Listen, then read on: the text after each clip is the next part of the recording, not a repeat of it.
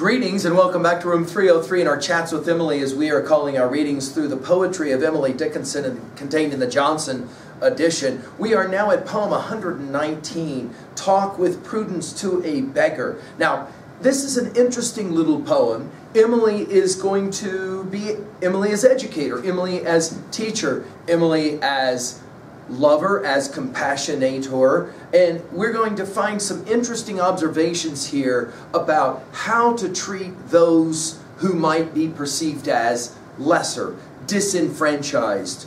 Uh, now, our assumptions that you've been following our stuff at learnstrong.net down that left hand side, chats with Emily, our playlist. I'm hopeful that you've already been exposed to our introductory set of comments as well as the preceding 118 poems. We just finished with uh, at poem 118, My Friend Attacks My Friend. It is interesting the ordering of some of these poems. So, for example, in the last poem, it was a poem about conflict and fighting and getting involved in that fighting. And in this poem, we are going to see Emily at her finest in terms of show respect, show love, show compassion to those who clearly need it.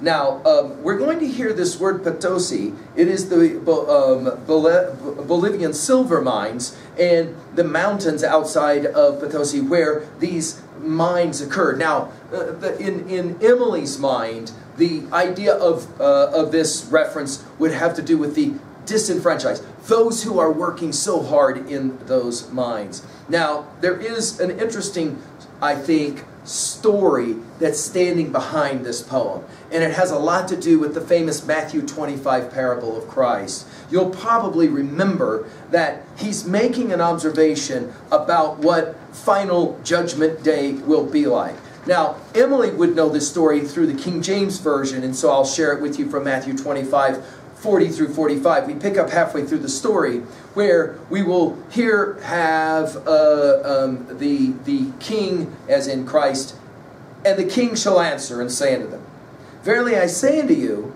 inasmuch as ye have done it to one of the least of these my brethren, you have done it unto me. Then shall he say also unto them on the left hand, Depart from me, ye cursed, into everlasting fire, prepared for the devil and his angels, for I was hungry, and you gave me no meat. I was thirsty, and you gave me no drink. I was stranger, and you took me not in. Naked, and you clothed me not. Sick and in prison, and you visited me not. Then shall they also answer him, saying, Lord, when saw we thee hungry, or athirst, or a stranger, or naked, or sick, or in prison, and did not minister unto thee? Then shall he answer them, saying, Verily I say unto you, inasmuch as you did it not to one of the least of these, you did it not to me. Now, I think there's a whole lot of that story standing behind this poem. By the way, notice all the caps in this poem, uh, the capital letters. Um, that you're going to find that one a fascinating one as well. Let's just enjoy the poem. Talk with prudence to a beggar of Potosi and the mines, reverentially to the hungry of your viands and your wines. Cautious, hint to any captive you've passed in franchised feet Anecdotes of air in dungeons have sometimes proved deadly sweet. Now, of course, we'll not, we'll not pass on the irony of pointing out that our series is called Chats with Emily, and the first word of the poem is talk. But notice her wording here prudence, reverentially, cautious.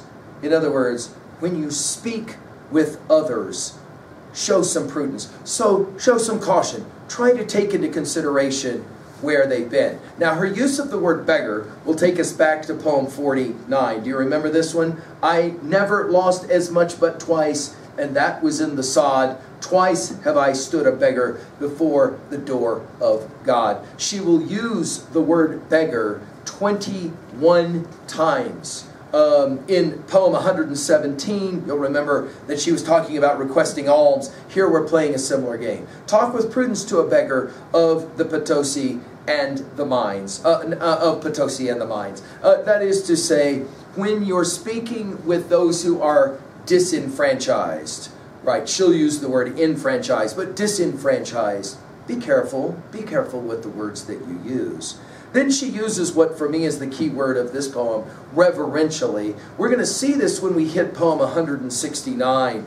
Um, uh, and, and I'll just I'll just play that game out with you. Um, she says it this way in El in, in Ebon box when years have flown to reverentially peer, wiping away the velvet dust summers have sprinkled there. It's her only other use of this of this word. Notice reverentially to the hungry, be careful, right? When you speak with them, speak reverentially to the hungry of your viands, that is to say your food and your wines. Notice it is your, right? Not our, your. And notice it is wines. In other words, those who are hungry, those who are starving, they don't need to hear about your fine meals. They don't need to hear about the wine that you drink. And then notice the stanza break.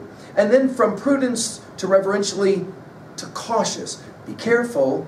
Hint to any captive. And again, notice these capital lettered words beggar, hungry, captive, later dungeons. Cautious hint to any captive you have passed enfranchised feet. In other words, any, anyone who's in prison doesn't need to be told there's all these free people out there walking around. And then she'll say it anecdotes of air. Uh, maybe my Emily Green pointed out this is possibly the reference to some kind of false hope. Anecdotes of air in dungeons have sometimes proved deadly sweet. Now, I find this interesting that our notion of deadly sweet can be, and our Emily group pointed this out to me, that is to say, alluring but fatal. In other words, you got to be very careful what you say to people who are stuck in a dungeon. If you tell them about all the people who are out there breathing the free air, it might lead them to some kind of terrible action, possibly even the taking of one's own life.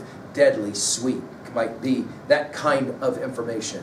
Well, what is she really saying in a poem like this? I think she's saying you got to be mindful of those who are less fortunate than you. Now, the Oxford scholar that we've been following, David Priest, has pointed out that this poem might have some particular application to the poet's Emily's own life.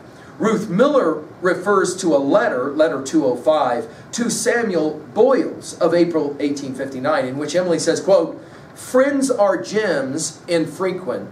Potosi is a care, sir, end quote. It may be, Priest now continuing, that in the poem, Emily is actually warning Samuel Bowles not to offer the Potosi mines of friendship to herself, even though she is a beggar with a desperate need of friendship, unless the offer is made with prudence, reverentially, and with caution. I find that a fascinating read, a way to read this poem as well. At 2b, I love the word choice, prudent, prudence, reverentially cautious, and then all these capital letters, beggar, hungry, captive, dungeons. It begs us, it begs the question, like, why? Why is she, why is she capitalizing those words? She'll play that game occasionally. At 3a, well, I've mentioned, of course, Matthew 25, 40 through 45. Uh, we, we read that one. How about this one? Plato has often been assigned this observation be kind, for everyone you meet is fighting his own battle. Um, actually, some research will show Plato himself never wrote that line that we know of. However, it was written by the Scottish writer Ian Maclaren in the 1890s, who said something similar. At 3b, well, uh, before I go there, just uh, uh, when we get to poem 9, 919, this is how she'll say it. And to me, this is one of the best representations of this idea of Emily's notion of being kind. She says it this way If I can stop one heart from breaking, I shall not live in vain. If I can ease one life, the aching, or cool one pain, or help one fainting robin unto his nest again, I shall not live in vain. Of course, you can see how these two poems will then go together. At 3b, how do you own a poem like this? What was a time when you were not maybe as reverent as you could have been? Um, you'll remember in our study of Wordsworth's Tintern Abbey, what does he say makes a great life? Little, nameless, unremembered acts of kindness and love. I think Emily is challenging us to maybe live a life where we're a little bit more prudent, a little bit more cautious, a little bit more caring, compassionate, can we say? As the Gita says, to recognize oneself in all being, in all being in oneself. Thank you.